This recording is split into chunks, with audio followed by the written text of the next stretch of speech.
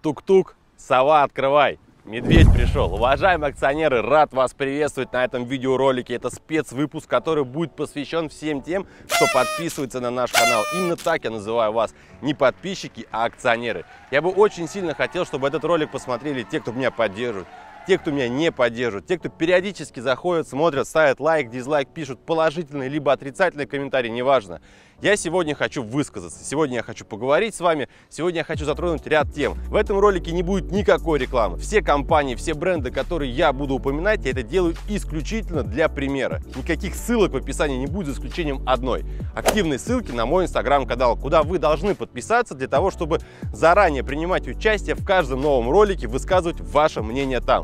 Друзья, присаживайтесь поудобнее, мне есть чего сказать, мне есть о чем с вами поговорить. Я сегодня расскажу, сколько же можно заработать работать на YouTube, ведь я стал размещать много рекламы в роликах. Я сегодня расскажу, а стоит ли вообще вам пытаться лезть на YouTube с точки зрения заработка, либо воплощения каких-то своих творческих идей. В общем, я думаю, будет интересно.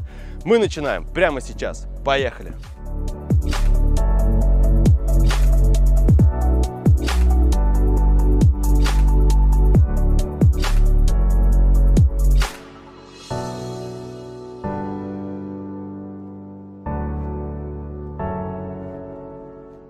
Первую очередь я хочу сказать спасибо всем тем, кто подписался на канал еще давно, когда мы только начали снимать дневники Mazda 6.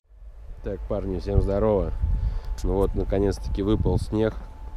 Вчера было 14 ноября, как раз поставил зимнюю резину себе, капелиту восьмую, 225-45 на R19 шипованная кто меня поддерживал, кто мне давал советы, рекомендации, как нужно развиваться и кто до сих пор смотрит канал. Благодаря вам мы сегодня выросли, и нас стало уже больше 150 тысяч человек. Именно благодаря вашему позитиву и вашей поддержке я сейчас не обращаю внимания никакой негатив, и меня сегодня просто-напросто невозможно сломать. Соответственно, писать комментарии серии «Удали канал», когда-то, возможно, я бы мог бы это сделать, но сегодня только вперед, только победа. Друзья, я хочу обратиться именно к вам. Вот кто бы меня э, не смотрел, кто бы меня поддерживал, не поддерживал, запомните одно.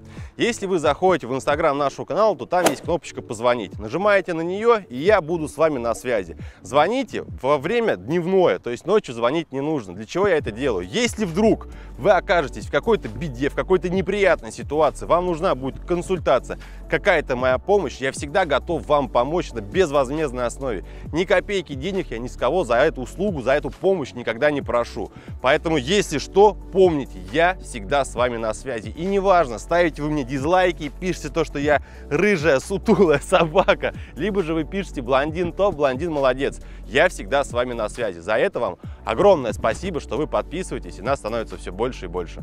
Второе. С развитием канала приходят люди как позитивные, так и негативные. Есть люди, которые говорят, дизлайк, отписка раньше было интереснее. Друзья, вот мне интересно иной раз. Что раньше-то было интересно? Когда мы снимали про Mazda 6, я снимал просто первые эмоции про автомобиль. Мы снимали это на маленькую камеру GoPro. Снимаешь? Да. Всем привет, парни. Суть в чем? Значит, первая проблема, с которой я столкнулся, я вообще буду сейчас по порядку идти, как вот с какими косяками сталкивался в процессе управления, владения, а про те буду и рассказывать. Пацаны, всем здорово. Короче, сейчас я вот как раз хочу рассказать э, про то, как я покупал автомобиль свой и остальные автомобили со скидкой официальных дилеров. Так, снимаю, значит, я тут со своего рабочего места, просто на улице сегодня какой там 23 декабря, вот, плюс 8 и дождь идет. Соответственно, на улице сегодня не вариант. Поначалу я был одним из первых, кто начал вести полноценный дневник про свой автомобиль. Сегодня же мы развиваемся, у нас стало крутое оборудование, у нас есть коптер, у нас хороший звук. И сегодня я стараюсь сделать ролики более интересные, более полезные, более такие жизненные. Далее, есть люди, которые постоянно ставят дизлайки. Серия, то есть мы выложили ролик, он его даже не посмотрел, но уже стоит дизлайк, уже идет негативный комментарий. Друзья, поймите правильно, я ко всему отношусь адекватно. Не надо думать о том, что я вот жду только позитив, чтобы были только лайки лайки хорошие комментарии. Нет, если бы так происходило, то мы бы стали на одном месте. Я бы думал то, что я крут, у меня все получается, зачем мне куда-то стремиться, что-то делать, если что бы я не снял, всегда будет классно. Нет, мне нравится, когда я выкладываю ролик и прилетают какие-то комментарии. Но Вот старайтесь вообще в целом всем людям, кому вы пишете комментарий авторам на YouTube, высказывать ваше мнение более адекватно. Вот пример вам приведу. Иной раз люди пишут с негативом, с матом, ты дурак, скотина, белобрысый, дебил. Ну, в общем, вот, вот этот весь набор. Но вот если вот эти какашки подкидывать в сторону, смысл, который несет человек в своем комментарии, он действительно полезный. Я прочитываю, думаю, вот если бы не это, то, блин, слушай, ты дал дельный совет. На основании этого дельного совета впоследствии я его учитываю, снимаю какой-то новый ролик, уже участь на своих же ошибках. Поэтому, когда вы высказываете ваши комментарии и хотите, чтобы я вас услышал, делайте это конструктивно. Что если ролик говно, то ты напиши почему а не так, что фуфло, говно, ты дурак. Это не работает. Работает, когда вы даете советы. Мне это важно. Я читаю ваши комментарии, мне приятно это понимать. Третья тема. Продался. И вот ей я уделю немножко больше времени, потому что мне есть вам что рассказать. Смотрите, когда нас на канале стало 20 тысяч акционеров, тогда я опрокинул такую фразу, что никогда не буду размещать рекламу. Почему я это сделал? На тот момент я работал, и у меня было два пассивных дохода, которые в месяц мне приносили примерно 120-150 тысяч рублей. Я бы вам с удовольствием бы рассказал, что это был за пассивный доход, но наше любимое государство у меня этот пассивный доход отняло. То есть просто на, в один прекрасный день мне дали пинка по одному моему проекту и по второму моему проекту. Сказали, все, иди гуляй. Я пытался решить вопросы в правовом поле, и я имел на это возможности, но, как вы знаете, мне просто сказали, иди в жопу. И как только это произошло, впервые в жизни мне постучались и сказали, здравствуйте, мы хотим разместить у вас рекламу на канале. Я с них взял 50 тысяч рублей за 4 рекламные вставки в течение месяца. Я был очень этому рад, потому что, сами понимаете, когда ты просыпаешься утром, и ты знаешь, что, что к концу месяца у тебя будет доход в 150 тысяч рублей, а потом ты просыпаешься и знаешь, что, что к концу месяца у тебя будет 0 рублей, 0, 0 копеек, а делать что-то нужно. По основной своей работе я, конечно же, двигаюсь, я ищу колымы, за любую работу я берусь. Не нужно думать о том, что я маменькин там или Папинкин сынок. Я работал и водителем, и курьером, и э, гардеробщиком. У меня была разная работа за мое время. Поэтому работы я не боюсь, я стараюсь. Но какой я вынес для себя урок? Никогда не говори никогда. С развитием канала, с приходом все больше и больше аудитории, появлением каких-никаких просмотров, начали приходить рекламодатели. Сколько денег я беру за размещение рекламы? Я не наглею, как я считаю, и в среднем это составляет 20 тысяч рублей. Вот что мне нужно сделать за 20 тысяч рублей? Вот моделируйте на себя сейчас. То есть вот ты сидишь сейчас дома и думаешь такой, так, ну что нужно за двадцаточку сделать? Мне дают тех задания. Это когда тебе рассказывают, что вот у нас есть товар, пусть это будет видеорегистратор. У него есть сильные стороны, про которые нужно рассказать. При этом я качественно отношусь к выбору рекламы. Поверьте на слово, любой товар, который я рекламирую, мне за него ни капельки не стыдно. Единственное, о чем я пожалел когда-то, это то, что я рекламировал букмекеров. Далее, меня удивляет, когда люди некоторые реклама пошла на канале, и как вот вообще, как ты смеешь ее размещать. Друзья, у меня порой складывается впечатление, что когда вы увидели какую-то рекламную ставку, то у вас прям тут же с карточки списались деньги. Или же я прям вас беру за ручку, говорю, типа, все, пошли, пошли, пошли, вон там касса, доставай, доставай денежку, оплачивай. Вы смотрите ролик, если вы увидели то, что я говорю, друзья, я вам хочу рассказать про какой-то товар, ты что можешь сделать? Посмотрел там первые 5-7 секунд, регистратор, не нужен мне регистратор, промотал. Увидел, что там, допустим, кошельке, ну ладно, дал там мне шанс рассказать тебе о кошельках, все. В чем сложность-то? Монетизация, которую дает сам YouTube, вот когда вы смотрите ролик, вылетают различные баннеры, 199 рублей, если не изменяет память, или там 250 сейчас, раз в месяц вы оплачиваете, все, никакой рекламы никогда у вас не будет, вы будете смотреть YouTube без проблем. Но зачастую люди говорят, 199 рублей платить, будем смотреть с рекламой, это ваше право, тут вы выбираете сами. Я вам могу рассказать такой пример, что если бы я хотел, как говорится, продать свою жопу и заработать денег, то за это лето я бы мог заработать примерно полтора миллиона рублей запросто, за три месяца. Что мне нужно было бы прорекламировать? В первую очередь, это финансовые пирамиды раз, э, ну, два раза в неделю регулярно мне звонят, стучатся, предлагают за 45-секундную вставку давать мне по 100 тысяч рублей. Вот вы сидите сейчас на диване дома там или с работы едете, на работе, неважно где вы. Скажите мне, пожалуйста, что вам нужно сделать, чтобы заработать 100 тысяч рублей? Вот мне за 100 тысяч рублей нужно прочитать текст на камеру, условно сесть за компьютер, сказать, типа, парни, смотри, вложил сотку, через неделю снял 116 тысяч, то есть 16 тысяч процентов. Эти пирамиды многие люди сегодня рекламируют. И я смотрю на статистику их канала. Полторы тысячи лайков, там 28 дизлайков. И ничего страшного, аудитории пофигу. Но я помню такую ситуацию, которая произошла с Еленой Лисовской, когда она рекламировала нечто подобное, и когда эта пирамида обрушилась, а все они в какой-то прекрасный момент рушатся, ей прилетает и по сей день, то есть свое доверие перед своей аудиторией она потеряла. Есть ли у меня соблазн, да, там, за неделю, э, за месяц заработать там 500 тысяч рублей, разместив 5 там рекламных интеграций? Конечно, есть. Но я понимаю о том, что вы мне скажете то, что вот теперь ты петух. Как говорится, это петушиный поступок. Более того, есть одна букмекерская компания, которую знают абсолютно все. Она уже куда только не плюнь, куда ни посмотри, везде она звучит. За то, чтобы просто продиктовать и напомнить о них, как это некоторые делают, даже не выводя на экран ни сайт их, ничего, не оставляя ссылки в описании, ничего, мне предлагают 15 тысяч рублей, но они готовы купить сразу 30 рекламных интеграций. То есть как с куста 450 тысяч рублей. И, соответственно, все они готовы продолжать дальше, дальше, дальше. И при этом, параллельно с этим, у меня есть честные компании, с которыми я сотрудничаю, и они также платят денег. Вот смотрите, у нас было предложение, мы ездили на Shell. Помните, я снимал видеоролик о том, как делаются моторные масла. Это визитная карточка компании. Раз, два, три. Как оно выглядит? А вот так. Это буду я. Тихо, тихо, тихо. А, красавец! Вообще просто ты. Очень частый вопрос. Я сделал публикацию в инстаграм нашего канала. Люди спрашивают. Мне было дико интересно, потому что действительно, когда я учился в университете, по их компании я писал одну работу. Когда я получил это предложение, они спрашивают, какие ваши условия. У меня была на тот момент бешеная загрузка по основной работе, была зима, нам было что снимать. Я просто на дурака сказал 100 тысяч рублей. И знаете что? Ролик-то вышел на канале, они согласились. Меня кормили, нас с оператором, мы поехали, нам дали машину, нас размещали. Организация была вот на таком уровне. Вот на самом деле подкупает очень сильно. А вот теперь ты мне скажи, ты бы поехал бы за 100 тысяч на завод, посмотреть, как делают моторные масла, съездить в другой город. Но мне это было интересно дико. И еще за это денег дает. Но это круто. Понимаете, есть различного рода разводняк. Вот из серии то, что перейди в телеграм-канал, а там напишешь, мы тебе какой-то прогноз дадим. Ты написал, тебе прогноз дали, а прогноз болт. А в итоге тебе говорят, ну знаешь что, это же как бы лотерея, повезет, не повезет. За это я, конечно же, не берусь. Хотя вот эти товарищи платят в 5 раз больше, чем за обычную рекламу. И в силу того, что вот я по двадцаточке беру потихонечку, ну мы снимаем, мы зарабатываем. И самое главное, подчеркну то, что я дорожу своей репутацией, я отсеиваю весь этот негатив. При этом на YouTube есть такой блогер, с которым я, собственно, даже сам начал вести деятельность, смотрел его обзоры. Его зовут Вилсаком Валентин Петухов. Очень известный человек, него там 7,5 миллионов подписчиков, это техноблог. Но вот он говорил когда-то правильные вещи, с которыми я прям полностью согласен, и я вам их просто-напросто озвучу. Если вы приходите на YouTube с желанием заработать, вот вы думаете, блин, пойду-ка я сейчас снимать ролики для того, чтобы денег собирать.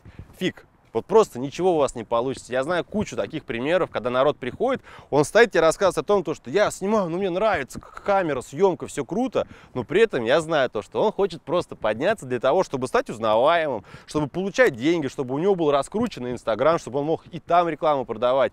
То есть, когда вот идет перед тобой корысть, это нафиг. Когда вы снимаете от чистого сердца, когда вы стараетесь сделать какой-то интересный фильм, вот такие ролики, как правило, они и заходят лучше и интереснее, и там бешеная поддержка, потому что аудитория это чувствует. Конечно же, сегодня бешеная конкуренция, сегодня очень тяжело начать свой канал, потому что каждый день появляются новые каналы, кто-то пытается что-то делать, детей очень много, которые снимают, вот что-то выкладывают, но тем самым засоряют, скажем так, YouTube, получается такое, знаешь, очень грубое инфополе, то есть ты пытаешься залезть, а там уже миллион человек стоит. Но старайтесь, развивайтесь, я уверен, что сегодня с хорошей идеей зайти вполне реально. YouTube чей сайт? Американский. Кто такие американцы? Американцы это люди, которые живут в Америке. Вот вы вдумайтесь, ты снимаешь, ты получаешь какое-то удовольствие от творчества, а тебе еще денег дают. Вот ты посмотри на наши там ВКонтакте. Был Дуров, который занимался делом. Что сделали? Дурову пинка дали. Сейчас ты заходишь в ВКонтакт, повсюду те же самые рекламные баннеры всплывают. Музыку послушать, 30 минут дальше плати. Музыку слушаешь, там реклама всплывает. Телевизор ты включишь, реклама. По радио ты что-то будешь слушать, реклама. я этому очень рад, что американская компания YouTube дает возможность мне заниматься творчеством, получать удовольствие. Знаете, я иногда утром просыпаюсь, например, во вторник, думаю, блин, я просто пойду погуляю. Я выхожу в город, я иду, а у меня на душе прям такой камень, Потому что я понимаю, что будний день я должен сейчас сидеть в офисе, либо куда-то ехать по работе. А я могу просто идти по улице, взять кофе, посидеть, достать телефон, порешать ряд вопросов с телефона. То есть я ни к чему не привязан, я никому ничем не обязан. Я просто иду, мне раз пришла какая-то идея, я думаю, блин, надо снять какую-то подборку, нужно снять какой-то сюжет. Я его записываю все в заметочке. В один прекрасный день просыпаемся утром, едем, его снимаем. Вот согласитесь, но не это ли удовольствие от жизни, когда ты можешь заниматься любимым делом, а не когда ты ложишься спать пораньше, потому что нужно, ты встаешь по будильнику утром, потому что нужно, ты едешь туда, куда ты ехать не хочешь, и ты там сидишь только из-за денег, а я делаю все в удовольствие. Поэтому, друзья, вот все, о чем говорят люди, что найди свое хобби, найди там какой-то, ну, трудись, занимайся тем, что приносит тебе удовольствие, ты никогда не будешь работать. Работать на все сто процентов. Касаемо роста канала. Иногда люди пишут, блин, вроде бы крутые видосы, почему так мало подписчиков, почему так мало просмотров, ты, тебя должно быть больше. С другой же стороны, многие говорят то, что уже снимаешь там три года, а все равно мало должно было бы быть больше. Друзья, здесь важный момент. Я никогда в жизни не пользовался никакими сервисами, я никогда в жизни никого не покупал никакую рекламу с точки зрения продвижения канала. Я просто снимаю ролик, монтирую, выкладываю. Снимает Оператор это моя жена, я монтирую сам ролики, то есть все идеи придумываю я, то есть мы, можно сказать, работаем вдвоем. Что-то придумали, поехали, поснимали, она мне дает какие-то дельные советы. Ваши комментарии тоже зачастую используются, потому что я смотрю, даже по одному комментарию по какому-то я могу придумать целый сюжет. Самое главное, чтобы это было полезно. Я был дико удивлен, когда мы снимаем некоторые ролики, например, где я рассказываю, как вот обманывают, куда нужно смотреть, как правильно купить машину. И мне кажется, вот при монтаже, я думаю, блин, вот доступно я рассказал, недоступно, интересно это будет, неинтересно. И вот такие ролики заходят гораздо лучше. Большой всплеск положительных комментариев, поддержки. Я по статистике просмотра смотрю, что люди его смотрят практически до конца, этот ролик в целом. Я думаю, ничего себе, круто.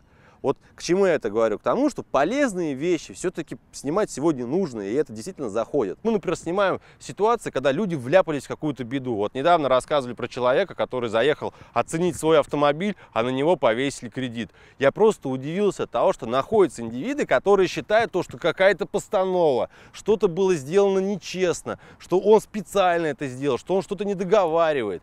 Я думаю, блин, слушай, ну ты же завтра можешь оказаться в подобной ситуации. Сегодня, чтобы кинуть человека, нужна только копия его паспорта. Все. И связи в определенных структурах. Это действительно работает.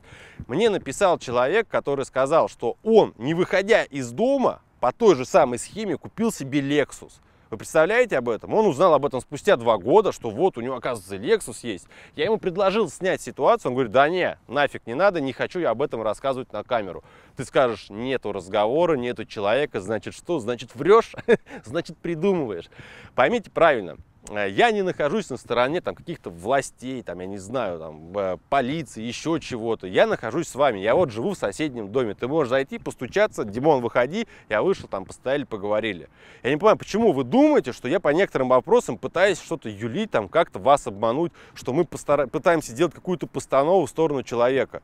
Нет, наоборот, задача простая, показать вам, какие ситуации бывают, чтобы у вас это в голове было, и вы понимали, что вдруг окажетесь в такой же ситуации, что ага, обман. И я прекрасно понимаю, что в какой-то день YouTube он просто-напросто закончится, либо он просто умрет сам по себе как сайт, и все скажут то, что а, вот раньше это было интересно, как это было когда-то с телевизорами. Ну вы вспомните, когда мне было 14 лет, я приходил домой, и все, что я смотрел, это был телевизор. На сегодняшний день это YouTube. Возможно, в будущем появится что-то совсем другое, и, соответственно, YouTube как таковой станет неактуальный.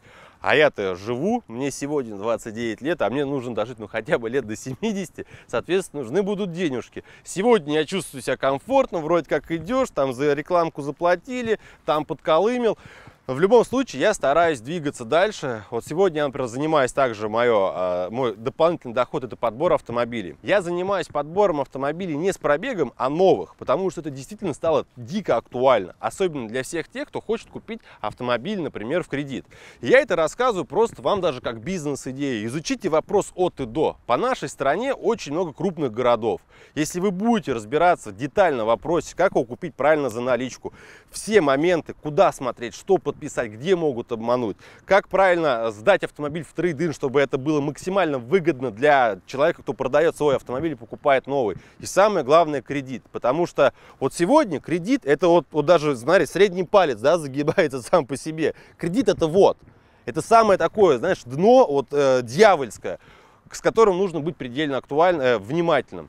За последние полгода-год я купил уже больше 100 машин. Соответственно, в неделю покупают по две машины. Я уже разбираюсь в этих вопросах и вижу, что многие люди, кто приходит, они они сидят, они не знают, куда смотреть. То есть и такая услуга актуальна. Поэтому думайте также, возможно, вам вот мой дополнительный доход будет тоже актуален, и когда-то вы в своем городе примените, и у вас будет какая-то идти пассивная копеечка. Но это труд. Это не просто так, что ты щелкнул пальцем, пришел там, знаешь, здесь расписываемся, здесь не расписываемся. На самом деле, с точки зрения процесса организации, это не так все легко. Разные тематики на канале. Знаете, с одной стороны, правильнее делать как? Ты завел канал, если ты снимаешь обзоры на машины, то там выходят только обзоры на машины. Это с одной стороны. Хочешь ты снимать про путешествия, заведи другой канал. Но это же становится дико скучным. И я ни разу не пожалел о том, что на основной канал у меня единственный, я выкладываю и про машины, и про недвижимость, какие-то бытовые ролики, какие-то жизненные ситуации, какие-то различные мои эксперименты. Все находится на одном канале, потому что вы люди взрослые. Я выложил его, ты зашел, смотришь, ага, у Машкова вышел ролик, что там? Про электросамокат, не нужен мне электросамокат, что там, про квартиры, ну давай посмотрим, что он там наснимал. Про путешествия, есть у тебя желание, посмотришь. То есть, если я выложил ролик, это не означает за то, что вы все его посмотрите, вы подписаны, вы обязаны смотреть. Нет. Поэтому я стараюсь экспериментировать, и по статистике, по отзывам, эти эксперименты пока что идут удачно, потому что больше позитивных э, отзывов, то, что интересно, вроде бы неплохо сняли, ну, глянуть можно. Планы на ближайшее будущее. Как вы знаете, я недавно купил 520-ю BMW, у меня очень много идей, что про нее снять, что рассказать. Я уже нашел людей, которых реально, вот специалисты по этой машине. Мы приедем, мы запишем толковое интервью. Это будет не реклама, это будет действительно полезная информация. Думать о том, что канал превращается теперь в BMW головного мозга не нужно, потому что точно так же параллельно будут выходить и другие ролики. Я уже почитал комментарии под этим видео с BMW, и я удивляюсь, как вот некоторые, знаешь, Фу, 37 тысяч, 2016 год, так она же новая, что с ней будет? Вот если бы ты купил машину года так 11-12 с пробегом 1150, вот это было бы интересно. Друзья, слушайте, стесняюсь спросить, а что было бы интересно? Смотри, как я из одного сервиса в другой сервис тачку за тачку отдал лям, там полтинник, там 70, там 100 тысяч, и в итоге я на машине езжу, я покупаю машину в первую очередь для себя, чтобы поездить, получить какое-то удовольствие, получить опыт. Я никогда не ездил на автомобилях с задним приводом. Мне интересно посмотреть, как она себя будет вести. И я буду про это снимать. Информация собирается, я анализирую, после этого подаю ее вам. Далее будет также появляться различного рода проекты, различного рода мои эксперименты. У меня дикое желание по осени попробовать снять какой-нибудь крутой документальный фильм, который мы поснимаем, например, на протяжении там недели-двух будет много событий, будет много перебивок идти, то есть я вам включу, потом вы посмотрите, будет много кадров, будет много информации. Постараемся сделать круто, с хорошим монтажом, с хорошим звуком, чтобы вам было приятно смотреть. Мне дико нравятся вот ролики и серии, которые снимал, например, там Юрий Дудь или есть канал The Люди, когда они ездят по странам, да, и снимают такое реально расследование. Вот, вот эта тема мне прям очень сильно нравится, я бы хотел бы пробовать тоже снимать нечто подобное. В общем, разглагольствоваться о планах на ближайшее будущее нет никакого смысла, снимаем регулярно, поэтому все будет выходить, а вы уже посмотрите и, как говорится, поставите лайк и поддержите, поставите дизлайк и не поддержите, либо же будете нейтрально и просто выскажите ваше мнение. Поймите правильно, все ваши комментарии читаю, ни на кого я ни в коем случае не обижаюсь, потому что я прекрасно понимаю, это твое личное мнение, ты можешь относиться ко мне с позитивом, с негативом, неважно. Я прочитываю, принимаю к сведению. В любом случае, мы будем продолжать снимать дальше и идти только вперед. Друзья, обязательно подписывайтесь на наш канал, обязательно подписывайтесь на инстаграм нашего канала, потому что там всегда выходят действительно только свежие новости. Я буду стараться делиться с вами качественным, хорошим контентом, я буду обязательно внимательно относиться к каждой рекламной интеграции, чтобы мне перед вами не было стыдно. Будем идти дальше, сердечно и просто огромное вам спасибо, что вы подписываетесь, то, что нас стало уже больше 150 тысяч. Мне все нравится, я всем доволен. Низкий вам поклон, до новых встреч, всем пока-пока.